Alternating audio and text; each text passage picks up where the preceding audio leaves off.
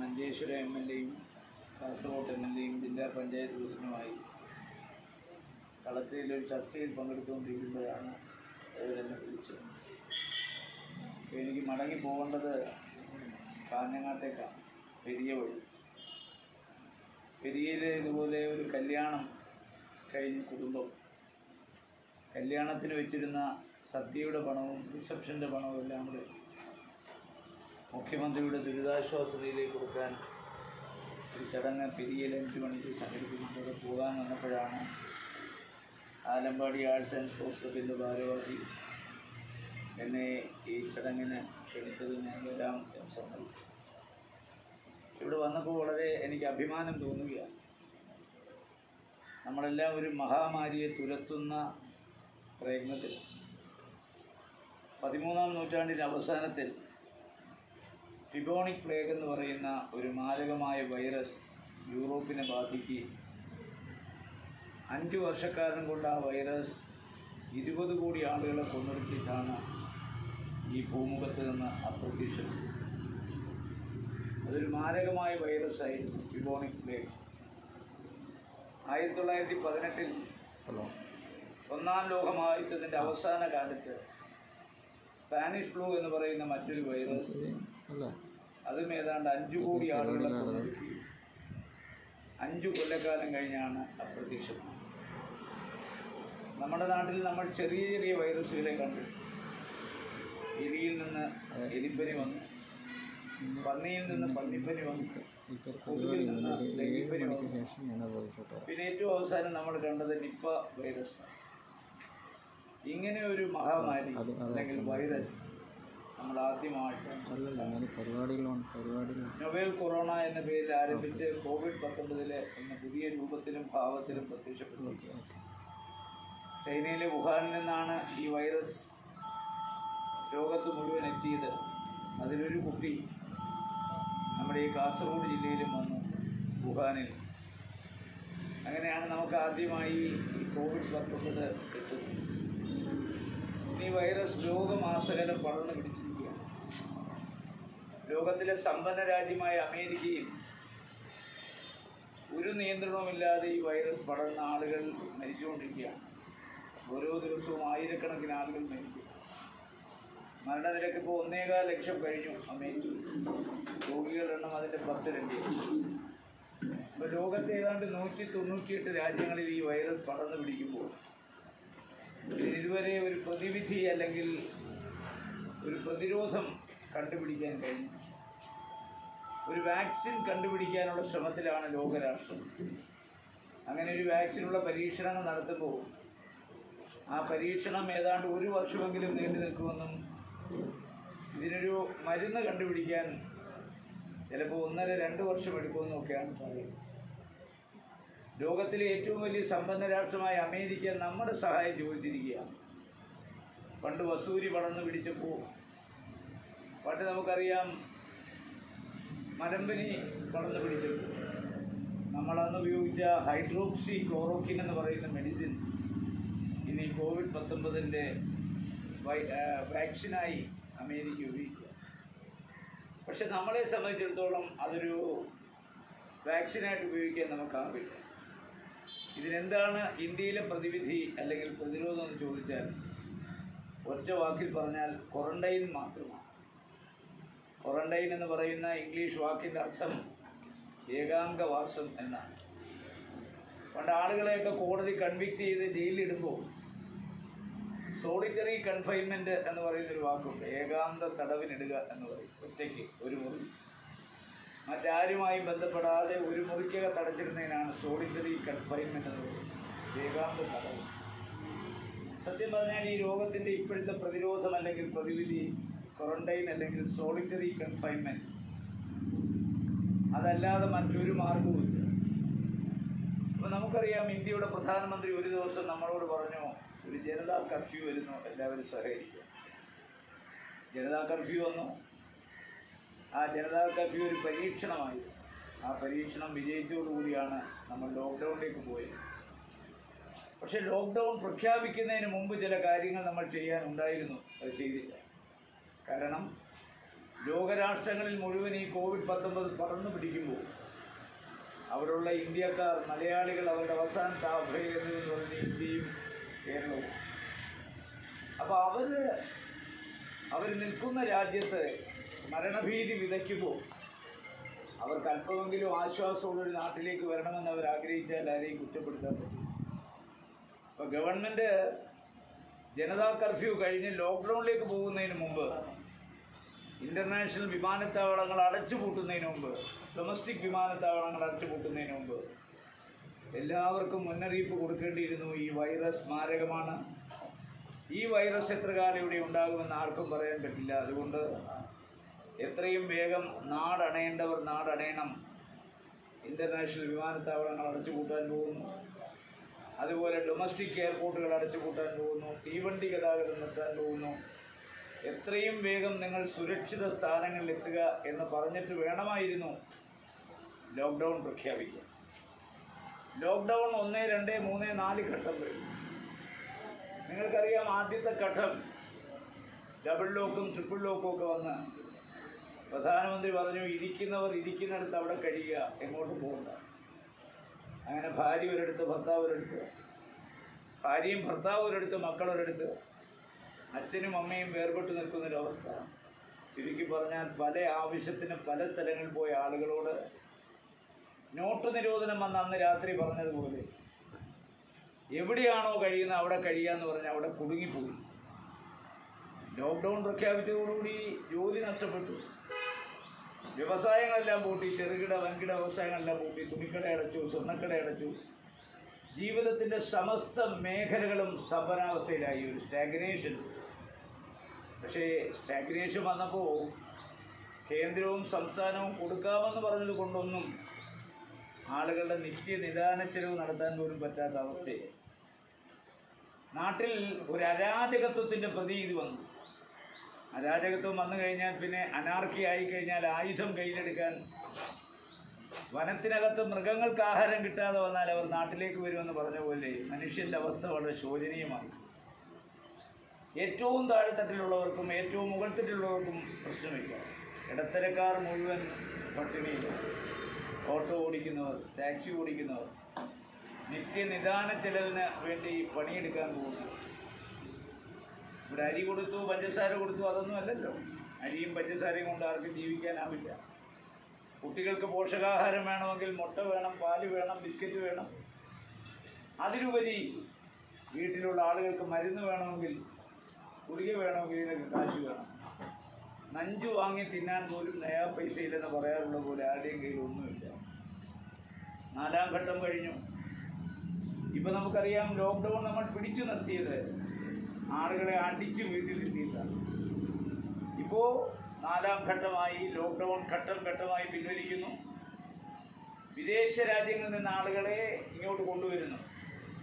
കൊണ്ടുവരുന്നവരൊക്കെ കയ്യിൽ കാശുള്ളവരാണ് വിമാന ടിക്കറ്റ് എടുക്കാൻ വാങ്ങുള്ളവരാണ് ജോലി നഷ്ടപ്പെട്ട് ഇക്കാമ നഷ്ടപ്പെട്ട് തെരുവിൽ കിടക്കുന്ന ഒരുപറ്റം മലയാളികൾ ഗൾഫ് രാജ്യങ്ങളോട് ഈസ്റ്റ് നിങ്ങൾ ഓരോ ദിവസത്തെയും മരണനിരക്കെടുത്ത് കണ്ടാൽ ലോകത്തെ എല്ലാ രാജ്യങ്ങളിലും മരിച്ചുകൊണ്ടിരിക്കുന്ന മലയാളികളാണ്. കുവൈറ്റ് ഖത്തർ മസ്കറ്റ് ദമാമിൽ എല്ലാ സ്ഥലത്തും മരിക്കുന്ന ആളുകളുടെ എണ്ണം എടുത്ത് പരിശോധിച്ച മലയാളികളാണ്. ഗർഭിണികൾ എട്ട് ഏഴ് മാസം വരെ വിമാനത്തിൽ സഞ്ചരിക്കാൻ പറ്റൂ. ഇന്നലെ എന്നെ ഒരു ഗർഭിണി വിളിച്ചത്. അവരെട്ട് കഴിഞ്ഞു. ഇനി ഇവിടെ നിന്നാൽ ചിലപ്പോൾ കൊച്ചും അവരും മരിക്കുമെന്നാണ് പറയുന്നത്. വിമാനത്തിൽ കയറി. ഏഴ് മാസം കഴിഞ്ഞാൽ ഗർഭിണികളെ കയറ്റാത്ത ഫ്ലൈറ്റിൽ എട്ടും ഒമ്പത് മാസമായിട്ട് കയറ്റുന്നു ഒരു നോംസ് വെച്ചു നോംസ് പണമുള്ളവർക്ക് മാത്രം. ഈ മലയാളികളായ നിരപരാധികളായ നിർദോഷികളായ ആളുകൾ കൊണ്ടുവരാൻ ഒരു ശ്രമവും നടക്കുന്നു നമ്മൾ മനസ്സിലാക്കുന്നത് കേരളത്തിന്റെ സമ്പദ്ഘടനയ്ക്ക് എന്നും താങ്ങും തണലുമായി നിന്ന പ്രവാസികളാണ്. അവരാണ് ഈ നാടിനെ പിടിച്ചു നിർത്തിയത് പ്രതിസന്ധി ഘട്ടങ്ങളിലെല്ലാം. പ്രളയം വന്നാൽ വെള്ളപ്പൊക്കം വന്നാൽ വരൾച്ച വന്നാൽ ഗൾഫിലെ പണമാണ് നമ്മുടെ താങ്ങായി നിന്നത്. ജീവിതത്തിൽ ഇന്ന് വരെ അവർ നമ്മളോടൊന്നും ആവശ്യപ്പെട്ടിട്ടില്ല. ഇപ്പോഴവർ ആവശ്യപ്പെടുന്നത് പണമല്ല എങ്ങനെയെങ്കിലും ജന്മനാട്ടിൽ വന്ന് ജനിച്ച ഭൂമിയിൽ കിടന്ന് മരിക്കാൻ ഒരവസരത്തിന് വേണ്ടി കേഴുകയാണ് രാത്രിയിലൊക്കെ പന്ത്രണ്ട് മണിക്ക് ഫോൺ ഓഫ് ചെയ്തില്ലെങ്കിൽ എല്ലാ രാത്രികളും ഇപ്പം എനിക്ക് ശിവരാത്രി ഉറങ്ങാൻ ഫോൺ പന്ത്രണ്ട് മണിക്കെങ്കിലും ഓഫ് ചെയ്തെങ്കിൽ കുറച്ച് നേരം ഉറങ്ങാൻ പറ്റൂ. ഇല്ലെങ്കിൽ രണ്ടര മണിക്കൂർ വ്യത്യാസമാണ് ഇവിടെ അവിടെയായിട്ട് പോകും അവർക്ക് വിളിക്കാൻ പറ്റിയ സമയം രാത്രി ഒരു മണി രണ്ട് മണി മൂന്ന് മണി. നമുക്ക് ഉറങ്ങാൻ പറ്റിയ സമയം അതാണ് പക്ഷെ ഉറക്കമില്ലാത്ത രാത്രികളാണ്. ഈ ദീനരോധനം കേട്ട് കേട്ട് മനസ്സും മരടിച്ചു ഒരു ഭാഗത്ത് പ്രവാസി. പതിനെട്ട് ലക്ഷം മലയാളികൾ കേരളത്തിന് പുറത്തുണ്ട്. ഏറ്റവും കൂടുതൽ മലയാളികളുള്ളത് കർണാടകം രണ്ട് തമിഴ്നാട് മൂന്ന് മഹാരാഷ്ട്ര. അങ്ങനെ പോകുന്നു മധ്യപ്രദേശ് അടക്കം ഇന്ത്യയിലെ വിവിധ സംസ്ഥാനങ്ങൾ. ഇവിടെ ഒരുപാട് തൊഴിലാളികളുണ്ട്. ആ തൊഴിലാളികളെ കൊണ്ടുപോകാൻ ശ്രമിക് ട്രെയിൻ എന്ന് പറയും തീവണ്ടി ഏർപ്പാട് ചെയ്തു കൊണ്ടുപോകുന്നവരുടെ ടിക്കറ്റ് ചാർജുമായി തർക്കമുണ്ട്. പക്ഷേ ഇവിടുത്തെ അന്യ സംസ്ഥാന തൊഴിലാളികളെ അയച്ചേ പറ്റൂ. ഇല്ലെങ്കിൽ അവരൊരു ബാധ്യതയായി മാറും നമുക്ക്.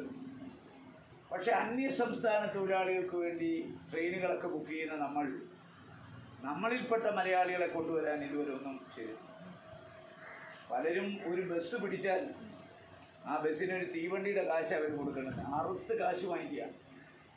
ഇരുപത്തഞ്ച് പേർ ചേർന്ന് ഒരു ബസ് പിടിച്ചാൽ അൻപത് പേർക്ക് ഇരിക്കാവുന്ന ബസ്സിൽ ഇരുപത്തഞ്ച് പേർക്ക് വരാൻ പറ്റും. ആ ഇരുപത്തിയഞ്ച് പേരിൽ അഞ്ച് പേർ കാസർഗോഡ് ബാക്കിയുള്ളവർ കണ്ണൂർ വയനാട് കോഴിക്കോട് തൃശ്ശൂർ മലപ്പുറം. അവിടുത്തെ കളക്ടർമാർ അവർക്ക് പാസ് കൊടുക്കും. കാസർഗോഡ് കളക്ടർ കാസർഗോഡ് ആളുകൾക്ക് പാസ് കൊടുക്കാത്തതുകൊണ്ട്. ഈ ഇരുപത്തിയഞ്ച് പേരിൽ അഞ്ച് പേരുടെ പാസ് ശരിയാകാത്തതുകൊണ്ട് വണ്ടി പുറപ്പെടുന്നില്ല. അവസാനം കാത്തിരുന്ന് കാത്തിരുന്ന് ക്ഷമ നശിച്ച് അവർ പാസ് ഇല്ലാതെ വരും. അതിർത്തിയിൽ കുഞ്ഞുങ്ങളുമായി രണ്ടും മൂന്നും നാലും ദിവസം കിടന്ന് കാൽ പിടിച്ച് കരഞ്ഞാലും ഇവരുടെ ഒന്നും മനസ്സറിയുന്നില്ല അവരെ തിരിച്ചയക്കാൻ ശ്രമിക്കും. പിന്നെ അവിടെ പോയി ബഹളം ഉണ്ടാക്കിയിട്ടാണ് അവർ നമ്മൾ നാട്ടിലേക്ക്. അപ്പോൾ നിങ്ങളുടെ അറിവിലേക്ക് ഞാൻ പറയാം ഈ കോവിഡ് പത്തൊമ്പത് ഈ അടുത്ത കാലത്തൊന്നും പോകും എന്നാരും ധരിക്കില്ല. ഇനി പഴയകാല ജീവിതത്തിലേക്ക് നമ്മൾ എന്ന് മടങ്ങിപ്പോകുന്ന ആർക്കും പ്രവചിക്കാനാവില്ല. കാരണം അഞ്ച് ലക്ഷം മലയാളികൾ വിദേശ രാജ്യത്ത് രജിസ്റ്റർ ചെയ്തിട്ടുണ്ട്. അവരൊക്കെ ഇങ്ങോട്ട് വരാനിരിക്കുകയാണ്. ഇന്റർനാഷണൽ വിമാനത്താവളം തുറന്നാൽ ഉടൻ അവരുടെ പ്രവാഹമായിരിക്കും ഇങ്ങോട്ട്. കേന്ദ്രം പറയുന്നു വരുന്നവരെ പതിനാല് ദിവസക്കാലം ഇൻസ്റ്റിറ്റ്യൂഷണൽ ക്വാറന്റൈൻ ചെയ്യണം. ഞാൻ ആ ഭാഗത്ത് സംസ്ഥാന ഗവൺമെന്റിനെതിരാണ് കേന്ദ്രത്തോടൊപ്പമാണ് കാരണം വിദേശ രാജ്യങ്ങളിൽ കോവിഡിന്റെ നടുക്ക് നിന്ന് വരുന്ന ഒരാൾ എയർപോർട്ടിൽ നേരെ വീട്ടിലേക്ക് പോയാൽ ആ വീട് മൊത്തം ആ നാട് മൊത്തം ഈ കോവിഡ് പത്തൊമ്പത് പടരും. വിദേശത്തുനിന്ന് വരുന്നവരെ ഇൻസ്റ്റിറ്റ്യൂഷണൽ ക്വാറന്റൈൻ നടത്തിയതിനു ശേഷം മാത്രം പതിനാല് ദിവസം വേണ്ട ഒരു ഏഴ് ദിവസം നടത്തി. രോഗലക്ഷണമില്ലെങ്കിൽ രോഗലക്ഷണം ഇല്ലെങ്കിൽ പിന്നെ അടുത്ത ഏഴ് ദിവസം വീട്ടിലോട്ട് ഹൗസ് ക്വാറന്റൈൻ ആക്കാം. പക്ഷെ ഡയറക്റ്റ് വീട്ടിലോട്ട് പോയാൽ ആ വീടും ആ നാടും കോവിഡ് കൊണ്ട് പലരും സമ്പർക്കം. സാമൂഹ്യ വ്യാപനത്തിലേക്ക് പോകും. ബോംബെയിലെ ധാരാവിയിൽ ഇരുന്നൂറ്റി അമ്പത് ഏക്കർ സ്ഥലത്ത് ഏഴ് ലക്ഷം ആളുകൾ താമസിക്കുന്നു. സാമൂഹ്യ വ്യാപനം എന്ന വാക്കിന്റെ അർത്ഥം അവർക്കറിയില്ല. സാമൂഹ്യ അകലത്തെ കുറിച്ച് അവർക്കറിയില്ല. അവർ കുടിലുകളിൽ ഇങ്ങനെ ഏഴ് ലക്ഷം ആളുകൾ ഇരുന്നൂറ്റി അമ്പത് ഏക്കറിൽ കിടക്കുക. എന്ന് പറഞ്ഞ പോലെ പ്രവാസികൾ ഇങ്ങോട്ട് വരുമ്പോൾ പതിനാല് ദിവസം അവർക്ക് ഇൻസ്റ്റിറ്റ്യൂഷൻ ക്വാറന്റൈൻ നടത്തണമെങ്കിൽ അവർക്ക് കേന്ദ്രം പറയുന്ന മുറികൾ കൊടുക്കണം. ബാത്ത് അറ്റാച്ച് റൂംസ് ആഹാരം കൊടുക്കണം. അവർക്ക് വെള്ളം കൊടുക്കണം. ഇതൊക്കെ വലിയ ബാധ്യതയാണ്. എന്നാലും അവർ വരും. അവസാനം ഇതെല്ലാം ഇൻസ്റ്റിറ്റ്യൂഷണൽ ക്വാറന്റൈൻ നടത്താൻ പരാജയപ്പെട്ടാൽ വീട്ടിലേക്ക് പോകേണ്ടി വരും. അപ്പം അതുകൊണ്ട് ഇന്നത്തെ തോതിലല്ല നീതി ആയോഗ്. അവർ പരസ്യപ്പെടുത്തിയ കണക്കനുസരിച്ച് ആഗസ്റ്റ് മാസം ഇന്ത്യയിൽ രണ്ടര കോടി ആളുകൾക്ക് കോവിഡ് വരുമെന്നാണ്. രണ്ടര കോടി എന്ന് പറഞ്ഞാൽ മൂന്ന് കോടിക്ക് അപ്പുറം പോകും. രണ്ടര കോടി താഴോട്ട് വരില്ല. അതെന്തുകൊണ്ടാണെന്ന് ചോദിച്ചാൽ ഈ പ്രവാസികളുടെ വരവ്. പതിനെട്ട് ലക്ഷം ബോംബെ അതുപോലെ പൂന അവിടെയൊക്കെ ആളുകൾ കോവിഡ് രോഗം ബാധിച്ച് തെരുവിൽ ഓടുകയാണ്. ഓടുന്നവനെ അടിച്ചു വീട്ടിൽ കയറ്റുകയാണ് നാട്ടുകാർ. പുറത്തിറങ്ങാൻ സമ്മതിക്കുന്നില്ല. വീട്ടിൽ കിടന്ന് മരിക്കുന്ന അവസ്ഥ. ഭയാനവും ഭീതിജനവുമായ അവസ്ഥയാണ്. അപ്പോൾ ഇനി അങ്ങോട്ടുള്ള കാലം ഈ കോവിഡിന്റെ എണ്ണം വർദ്ധിക്കും. പക്ഷേ സംസ്ഥാനം സാമ്പത്തിക പ്രതിസന്ധിയിലാണ് കേന്ദ്രം സാമ്പത്തിക പ്രതിസന്ധിയിലാണ് ഇനി ഈ അവസ്ഥ മുന്നോട്ട് പോയാൽ മനുഷ്യൻ തെരുവിലിറക്കും ആയുധമെടുക്കും. ഗവൺമെന്റും ജനങ്ങളുമായി സംഘർഷമാകും സംഘടനമാകുന്നതുകൊണ്ട് പഴയകാല ജീവിതത്തിലേക്ക് മടങ്ങാനുള്ള ഒരു പരീക്ഷണത്തിന്റെ ഭാഗമായി K S R T C ഓടിത്തുടങ്ങി വണ്ടികൾ ഓടിത്തുടങ്ങി നിയന്ത്രണങ്ങൾ ഓരോന്നോരോന്ന് ഓരോന്നായി മാറ്റുമ്പോൾ രോഗത്തിന്റെ വ്യാപനം കൂടുതൽ കൂടുതലായി വന്നുകൊണ്ടിരിക്കുന്നു. അതാണ് സത്യം. അതുകൊണ്ട് നിങ്ങളുടെ പ്രയത്നം ഏറ്റവും കൂടുതൽ വർദ്ധിക്കാൻ പോകുന്ന ഒരു കാലഘട്ടത്തിലേക്കാണ് ഇനി വരുന്ന ദിവസം. ഞാൻ നിങ്ങളെ അഭിനന്ദിക്കാൻ ഈ അവസരം വിനിയോഗിക്കുന്നു. ഇരുന്നൂറ് വർഷങ്ങൾക്ക് മുമ്പ് ഇറ്റലി എന്ന് പറയുന്ന രാജ്യത്ത് ഏറ്റവും വലിയ ധനിക കുടുംബത്തിൽ ജനിച്ച ഫ്ലോറൻസ് നൈറ്റിംഗേൾ അവരുടെ ജീവചരിത്രം നിങ്ങൾ വായിച്ചു കാണും നഴ്സിങ്ങിന് പഠിച്ചു കാണും. അവരുടെ പുസ്തകം നഴ്സിംഗ് സ്റ്റുഡൻസിന് പഠിക്കാനുള്ള പുസ്തകം. ഏറ്റവും സമ്പന്നമായ കുടുംബത്തിൽ ഇറ്റലിയിലെ ഫ്ലോറൻസ് എന്ന് പറയുന്ന നഗരത്തിൽ ജനിച്ച ഫ്ലോറൻസ് നൈറ്റിംഗേൾ അവരുടെ ഇരുന്നൂറാം ജന്മദിനം നേഴ്സസ് ഡേ ആയിട്ടാണ് ആഘോഷിക്കുന്നത്. ആ നേഴ്സസ് ഡേ എന്ന് പറഞ്ഞാൽ അവർ ഒരു യുദ്ധാനന്തരമുണ്ടായ ബ്രിട്ടീഷ് പൗരന്മാരുടെ പരുക്ക് മാറ്റാൻ. ഒരമ്മയെപ്പോലെ ഒരു ദാസിയെപ്പോലെ അവിടെ ഓടി നടന്ന പരിചരിച്ച ഫ്ലോറൻസ് നൈറ്റിംഗ്. അതുപോലെ തന്നെ മദർ തെരേസ ഇവരൊക്കെ ലോകത്തിലെ നമ്മുടെ റോൾ മോഡലുകളാണ് എന്ന് പറഞ്ഞ പോലെ ഈ മഹാമാരിയിൽ സ്വന്തം ജീവൻ പണയം വെച്ച്. തന്റെ കുടുംബത്തെക്കുറിച്ച് ഒരു നിമിഷം പോലും ചിന്തിക്കാതെ ഈ രോഗം പടരാതിരിക്കാനും രോഗം വന്നവർക്ക് രോഗം ഭേദമാകാനും ആർക്കും വരാതിരിക്കാനും രാപകരില്ലാതെ നിങ്ങൾ കഷ്ടപ്പെട്ട് ബുദ്ധിമുട്ടി യാതനകൾ അനുഭവിച്ചു ഈ നാടിനെ നിങ്ങൾ സ്നേഹിക്കുന്ന പോലെ ആരും സ്നേഹിക്കുന്നില്ല. വ്യക്തിപരമായ ദുഃഖങ്ങളും പരാധീനതകളും ഒക്കെ നിങ്ങൾക്കുണ്ട്. പക്ഷേ സകല കഷ്ടപ്പാടുകളും ബുദ്ധിമുട്ടുകളും യാതനകളും സഹിച്ച് ആ യാതനകളുടെയും വേദനകളുടെയും നടുവിൽ ആശ്വാസത്തിന്റെ സ്വാന്തനവുമായി നിങ്ങൾ ഇവിടെ പ്രവർത്തിച്ചത് ഫ്ലോറൻസ് നൈറ്റിംഗേൾ എന്ന മാലാഖയെ പോലെ അതുകൊണ്ട് ഞാനൊക്കെ പല സ്ഥലത്തും പറഞ്ഞു ഈ ഡോക്ടർമാരുടെയും നിങ്ങളുടെയൊക്കെ പടം നമ്മുടെ പൂജാമുറിയിൽ വെച്ച് പ്രവർത്തിക്കേണ്ടതാണ് അത്ര കണ്ട് നിങ്ങൾ മഹത് വ്യക്തിത്വങ്ങളാണ് എന്നാണ് ഞാൻ പറയുന്നത്.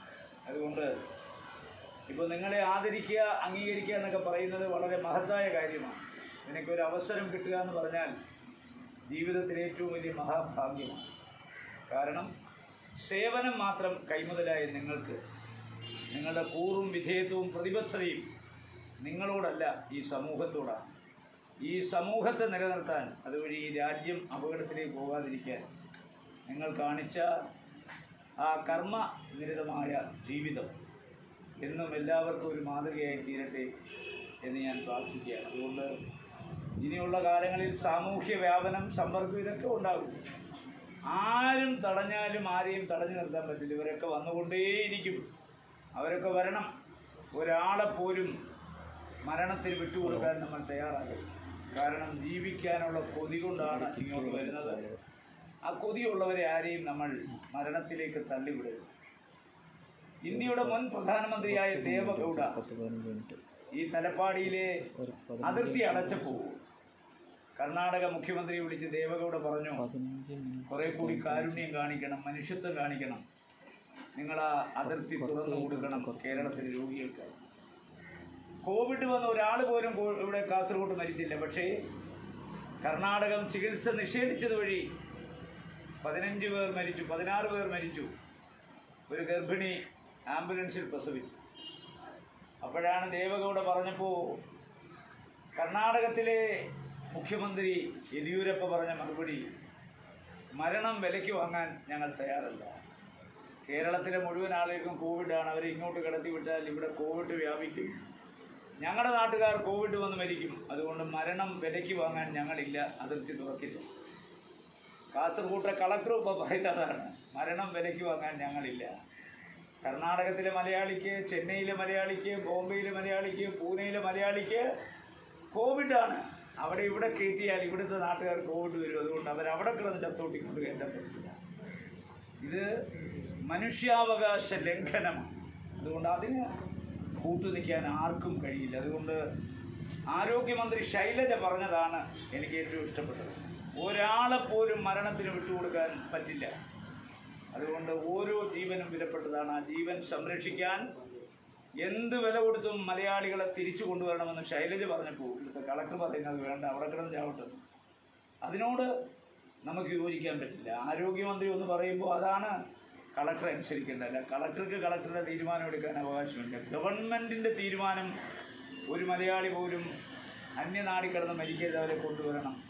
കൊണ്ടുവന്നേ മതിയാവും. അതുകൊണ്ട് ഇനിയുള്ള നാടുകളിൽ സഹവർത്തിത്വം കൊണ്ട് സമ്പർക്കം കൊണ്ട് രോഗം വരാം സാമൂഹ്യ വ്യാപനം വരാം. പക്ഷേ ഇനിയുള്ള ജീവിതത്തിൽ മാസ്ക് ധരിച്ച് കയ്യുറ ധരിച്ച് സാനിറ്റൈസർ ധരിച്ച് ഇതൊരു ശീലമാക്കി മാറ്റിയ. നമ്മുടെ വീടും പരിസരവും നമ്മളും സ്വയം ശുദ്ധീകരിക്കപ്പെട്ട നിലയിൽ സകല സമയം പ്രവർത്തിച്ച ഈ മഹാമാരിയിൽ നിന്ന് നമുക്ക് രക്ഷ നേടാം. പൂന്താനത്തിന്റെ ജ്ഞാനപ്പാന പറയുന്നുണ്ട് വിധിച്ചിടുന്ന കർമ്മം ഒടുങ്ങുമ്പോൾ പതിച്ചിടുന്ന ദേഹമോനെടുത്ത് കൊതിച്ചിടുന്ന ബ്രഹ്മത്തെ കണ്ടിട്ട് കുതിച്ചിടുന്ന ജീവനോ? അപ്പോൾ നമ്മൾ ജനിക്കുമ്പോൾ തന്നെ നമ്മുടെ മരണസമയം നിശ്ചയിച്ച് വെച്ചിട്ടുണ്ട്. അതുകൊണ്ട് കോവിഡ് അല്ല ആര് വന്നാലും നമ്മൾ മരിക്കാൻ എഴുതി വെച്ചിരിക്കുന്ന സമയത്തെ മരിക്കൂ. അതുകൊണ്ട് പേടി ഭയം നമുക്ക് ആർക്കും വേണ്ട. നമ്മുടെ മരണം മുമ്പേ തീരുമാനിച്ചിട്ടുണ്ട്. അത് കോവിഡ് വന്നാണെങ്കിൽ അങ്ങനെ തന്നെ തീരും. എവിടെ ഇരുന്നാലും എവിടെ പോകാൻ. വിധിച്ചിടുന്ന കർമ്മം ഒടുങ്ങുമ്പോൾ പതിച്ചിടുന്ന ദേഹമോനെടുത്ത് നമ്മുടെ കർമ്മം അവസാനിക്കുമ്പോൾ പന വെട്ടിയിട്ട് പോയി നമ്മൾ മരിച്ചു വീഴും. അതുകൊണ്ട് ഭയം ഒരിക്കലും നമുക്ക് പാടില്ല. ധൈര്യമായി മുന്നോട്ട് പോവുക. നിങ്ങളുടെ ഈ ആത്മസമർപ്പണത്തിലുള്ള സേവനത്തിന് ഞാൻ എല്ലാ അഭിനന്ദനങ്ങളും നേരുന്നു. നിങ്ങളെ ആദരിക്കാൻ കിട്ടിയ അവസരം ഒരു മഹാഭാഗ്യമായി കണ്ടുകൊണ്ട് ഞാൻ എന്റെ വാക്കുകൾ അവസാനിപ്പിക്കുന്നു. ഈ പിന്നെ ഇത് പരിപാവനമായ റമദാൻ മാസമാണ്. ശരീരവും മനസ്സും ഒന്നുപോലെ പരിശുദ്ധമായ മാസം. പ്രാർത്ഥനാ നിർഭരമായ മാസം. ആറായിരത്തി അറുന്നൂറ്റി അറുപത്തി ആറ് ആയത്തുകളുള്ള ഖുറാൻ ആ ഖുറാന്റെ ഓരോ ആയത്തുകളും ഓരോ സൂറത്തുൽ നൂറാണ്. അത് പറയുന്നുണ്ട് യാ അയ്യൂഹനാസ് ഇന്ന ഖൽക്കനാക്കിൻ മിൻ ദക്കരിൻ വ പുരുഷ ഈ ലോകത്തുള്ള മുഴുവൻ ജനങ്ങളെയും ഒരു സ്ത്രീയിൽ നിന്നും ഒരു പുരുഷനിൽ നിന്നുമാണ് സൃഷ്ടിച്ചത് അത് തന്നെയാണ് ബൈബിൾ പറയുന്നത് ആദമൻ ലവ്വ ആദ്യ മനുഷ്യൻ. അത് തന്നെയാണ് ഭഗവത്ഗീത പറയുന്നത്. വസുദൈവ കുടുംബകം. ലോകം മൊത്തം ഒരു കുടുംബം ഒരച്ഛൻ ഒരമ്മ. അപ്പോൾ നമ്മളെല്ലാം ഒരമ്മ പറ്റി മക്കളാണ്. ഈ പരിശുദ്ധമായ റമദാൻ മാസത്തിൽ പ്രാർത്ഥനാനിർഭരമായ മനസ്സുകളുമായി ജീവിക്കുന്ന ഈ മാസത്തിൽ മനസ്സും ശരീരവും ശുദ്ധമായ ഈ മാസത്തിൽ അതിന് ഏതാനും ദിവസം കഴിയുമ്പോൾ റമദാന്റെ പെരുന്നാളാണ് ചെറിയ പെരുന്നാൾ. അപ്പോൾ ആ മാസത്തിൽ ഈ റമദാൻ കിറ്റുകൾ വിതരണം ചെയ്യാൻ തയ്യാറായ സമസ്ത മേഖലകളിലും തനതായ വ്യക്തിത്വം പുലർത്തിയ ഈ ആലമ്പാടി ആർട്സ് ആൻഡ് സ്പോർട്സ് ക്ലബിനെ ഞാൻ അഭിനന്ദിക്കുന്നു. എന്നെ ഈ ചടങ്ങിന് വിളിച്ചതിൽ അവരോട് നന്ദി രേഖപ്പെടുത്തിക്കൊണ്ട് ഞാൻ ഈ പരിപാടി കിറ്റ് നൽകി ഉദ്ഘാടനം ചെയ്തതായി പ്രഖ്യാപിക്കുന്നു.